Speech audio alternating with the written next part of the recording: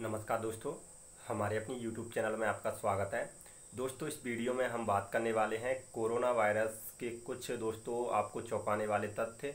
इन तथ्य को आप देखोगे और अभी भी आप कोरोना वायरस के प्रति जो है संवेदनशील नहीं हैं तो हो जाएँगे। और प्लीज़ इस वीडियो को ज़्यादा से ज़्यादा लोगों को शेयर करें और प्लीज़ आप सरकार जो भी गाइडलाइंस बोल रही है, बता रही है, उनका ज़रूर पालन करें।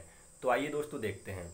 फ्रेंड्स हमारे देश में जो पहला केस है, वो 30 जनवरी को केरल में आया था। लेकिन मैं यहाँ से बात करने वाला हूँ। आज दोस्तों 12 मई तारीख हो गई है। लेकिन दोस्तों, यदि हम बात करें, आज जो केस हो गए हैं 12 मई को दोस्तों, यदि मैं आपको बताऊँ तो इकहत्तर हज़ार, ये जब तक मैं रिकॉर्ड कर रहा हूँ उस टाइम तक, इकहत्तर हज़ार तीन सौ तैंतीस केस हो गए हैं। लेकिन फ्रेंड्स यदि हम एक महीने पीछे चलें बारह मार्च को तो दोस्तों, ये केस बहुत ही कम थे। ये केस थे नौ हज़ार दो सौ ग्यारह। यानी कि दोस्तों, लगभग 800 परसेंट की जो है, इनमें बढ़ोतरी हुई है। फ्रेंड्स यदि हम बात, ये तो हो गई केसों की बात तो केस बहुत ही ज़्यादा बढ़े बढ़ रहे हैं दोस्तों। इसका एक कारण ये है कि अब टेस्टिंग भी जो है बहुत ज़्यादा हो गई है। दोस्तों 12 मई को ये ये 12 अप्रैल को यदि हम बात करें, जो मौतें, जो यहाँ पे दोस्तों जो रिकवर रेट थी, वो उस टाइम पे कम थी, दस परसेंट थी। लगभग ये बारह अप्रैल को जो रिकवर हुए थे, एक हज़ार छियासी व्यक्ति यानी कि सही हो गए थे। लेकिन दोस्तों, अब जो है रिकवर रेट तीस परसेंट के आसपास हो गई है। लगभग साढ़े बाईस हज़ार लोग जो है कोरोना वायरस से जो संक्रमित थे, वो सही हो चुके हैं अभी तक। तो एक चीज़ ये अच्छी है कि जो है रेट मतलब जो रिकवर रेट है, वो हमारी बढ़ गई है।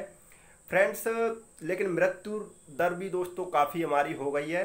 मृत्यु दोस्तों, जो दर थी जो पहले जो व्यक्ति कोरोना से संक्रमित थे, जिनकी मौत हो रही थी, वो दोस्तों 11 अप्रैल को यदि हम बात करें तो 290 लोगों की डेथ हुई थी। लेकिन दोस्तों, बारह बारह मई तक जो है 2310 लोगों की जो है मौत हो चुकी है।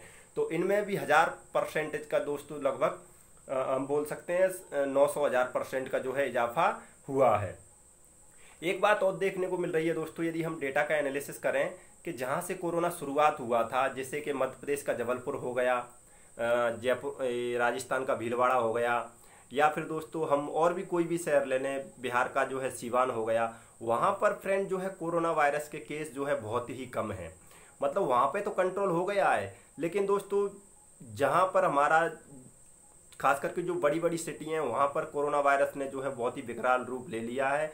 चाहे वो मुंबई हो, अहमदाबाद हो, दिल्ली हो, इंदौर हो, या फिर दोस्तों पुणे या कोलकाता हो।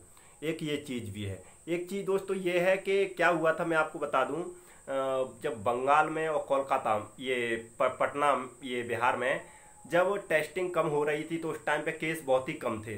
लेकिन मैं आपको बता दूँ, कल तक 11 मई मई तक लगभग 800 के आसपास केस जो है बिहार में आ चुके हैं और जो है बंगाल में 2000 के आसपास केस आ चुके हैं।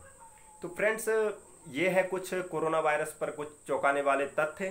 तो दोस्तों, बहुत ही ज़्यादा जो है, यदि इसी हिसाब से फ्रेंड चलता रहा तो मुझे ऐसा लगता है कि इस मंथ लास्ट तक हम जो है लगभग दो लाख के आसपास, डेढ़ से दो लाख के आसपास हमारा आंकड़ा जो है पहुँच जाएगा। बहुत ही तेज़ी से जैसा कि आपको लग रहा है कि बहुत, आप देख रहे होंगे आंकड़े बहुत ही तेज़ी से बढ़ रहे हैं। डेली तीन हज़ार प्लस ही जो है आंकड़े आ रहे हैं।